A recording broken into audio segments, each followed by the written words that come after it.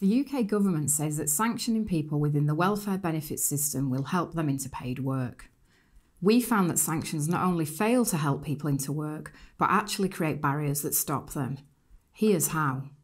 People try hard to meet their Job Centre Plus conditions to avoid being sanctioned, but too much effort is wasted on futile online job searches. Keeping to the rules can actually get in the way of finding work. Another problem is that when people have had their money stopped, they can't afford the fare to go for interviews, or buy clothes, or even keep their phone topped up. So they're at a big disadvantage in the jobs market. Many people who had been sanctioned told us existing health conditions, especially mental health, worsened. They suffered severe stress, depression, and despair, and some couldn't afford to eat properly. So again, they were hampered in finding work. Some people were pushed away from the welfare system altogether. Here's what happened to Harry. I'm homeless, living on the street. They put me on job seekers.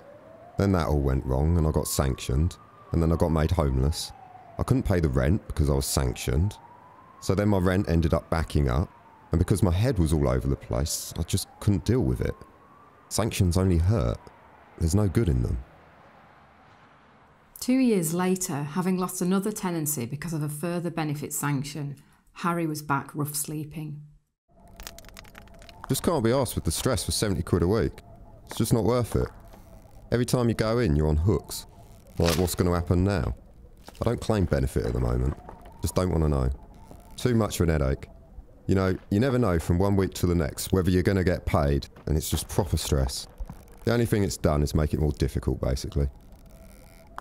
A few people told us they had turned to survival crime, shoplifting, burglary, stealing, when their money was stopped.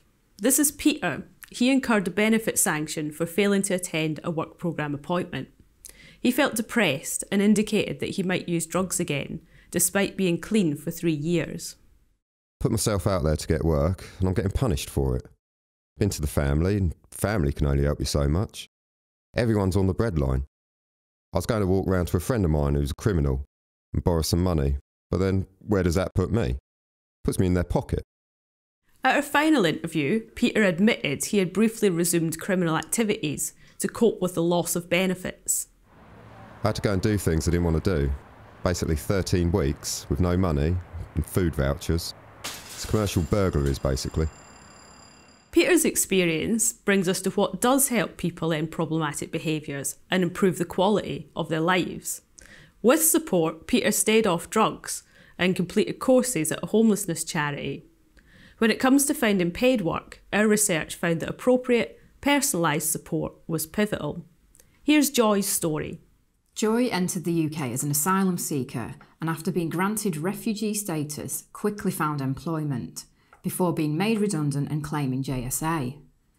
Job Centre Plus sent her on several courses, including English language, despite her migrating from an English speaking country. Compulsory. I didn't have a choice. I was like, I already know English. I come here every single Thursday, and I think I've executed whatever you've required of me. So for you to doubt that I know English, I have to put the job centre first before anything else.